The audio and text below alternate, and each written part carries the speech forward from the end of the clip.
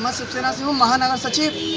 क्या समस्या है? हमारी समस्या ये कड्डी भुइया आज़म नगर में जो सरकारी नल खराब है दिवाली से उसकी कोई सुनवाई नहीं हो पा रही है। मैं सचिन राजपूत मांग करते हैं जल्द से जल्द हमारी समस्या का समाधान किया जाए वरना हम लोग नगम निगम पे सब मोहल्ले वासी नगम निगम में धरना प्रदर्शन कर देंगे जिसकी हमारी कोई सुनवाई नहीं हो पा रही है। कब से नल खराब है? दिवाली से नल खराब है और उसमें बोरिंग होना है।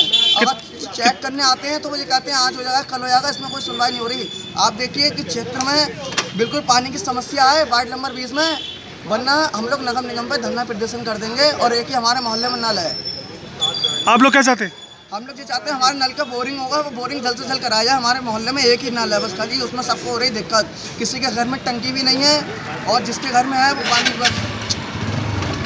अगर आपकी मांग पूरी नहीं हुई, क्या कदम उठाएँगे? हमारी मांग पूरी नहीं हुई तो हम मोहल्ले वासी नगम निगम में हम धरना प्रदर्शन कर देंगे।